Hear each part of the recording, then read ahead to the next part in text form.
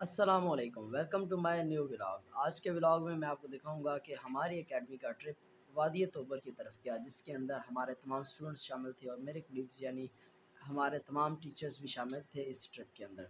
तो ये हमने ट्रिप प्लान किया था बाइक्स पे और तमाम स्टूडेंट्स को हमने एक जगह इकट्ठे किया और पीछे ये मेरी फ़ैन गाय भी मौजूद थी। ये पता नहीं कहाँ से आ गई, रास्ते में लेकिन ये हमें रास्ते में मिली थी। उसके बाद हम सब अपने सफ़र पर रवाना हुए। रास्ता काफ़ी पथरीला और दुशवार गुजार था, कुछ जगह पर पक्का रोड था, फिर कच्चा रोड भी था।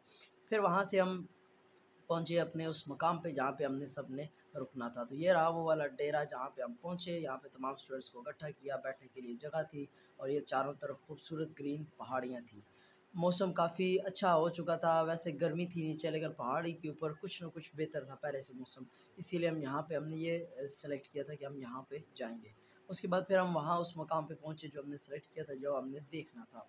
यहाँ पे इस मकाम पे तमाम लोगों ने काफ़ी इंजॉय किया क्योंकि यहाँ पे ठंडी हवा चल रही थी और नीचे हम तकरीबन सतह समंदर से काफ़ी ऊपर थे और नीचे सारा खेड़ा पिंड खान काफ़ी नीचे था तो हम पहाड़ी के बिल्कुल ऊपर थे, चोटियों पर। तो यहाँ पे हमें ठंडी हवा लग रही थी और उस ठंडी हवा की वजह से मौसम काफ़ी खुशगवार हो गया था। तमाम स्टूडेंट्स को आप देख सकते हैं कि कितने जोश लग रहे हैं इस मकाम को देखने के लिए। काफ़ी इनमें से पहले विज़िट कर चुके हैं, लेकिन काफ़ी लोगों के लिए एक नया एक्सपीरियंस था।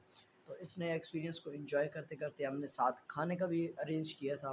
तो वो भी आपको साथ दिखाते हैं। कि खाने में हमने बिरयानी का अरेंज किया था और तमाम स्टूडेंट्स को साथ कोल्ड ड्रिंक का अरेंज किया गया। और ये आप नीचे देख सकते हैं आईसीआई जो है उसका सारा सेटअप है। और फिर उसके बाद हमने थोड़ा सा टाइम निकाला खाने के लिए। खाने पीने के बाद फिर हमने दोबारा एक दफ़ा फिर पहाड़ी का चक्कर लगाने की जो है ना, वो हमने ट्राई की कि हम एक बार फिर घूम फिर आते हैं। तो यहाँ पे ये भाई साहब जो आपको सामने स्क्रीन पे नज़र आ रहा है, ये है असद तैमूर साहब, जो कि हमारी अकेडमी के टीचर हैं।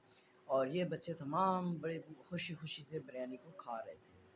उसके बाद ये असनाद साहब जो पीछे आपको झांकते हुए नज़र आएँगे, ये हमारे साथ इस अकेडमी के हेड थे, जिसका टूर हमने प्लान किया और साथ ही साथ तकरीबन हमारे पास फोर्टी प्लस स्टूडेंट भी थे जो हमारे साथ विज़िट पे गए। और देखें आप, देखें देखें हालात, देखें लोगों के। ये हमारे साथ बहुत अच्छे काफ़ी स्टूडेंट भी थे जिन्होंने हमारे साथ विज़िट किया और हमने एक पहाड़ी से दूसरी पहाड़ी पे चक्कर लगाया। ताकि हम पीछे से जाके वो वाले नज़ारे देख सकें, जिनको देखने के लिए हम बेसिकली यहाँ पे आए थे। काफ़ी पुरसकून पुरफ़ा मकाम है। यहाँ पे आप आराम में सुकून के लिए आ सकते हैं। एक मसला है, यहाँ पे यहाँ बिजली नहीं होती। रात गुजारनी है तो आपको यहाँ पे बिजली मैसर नहीं होगी।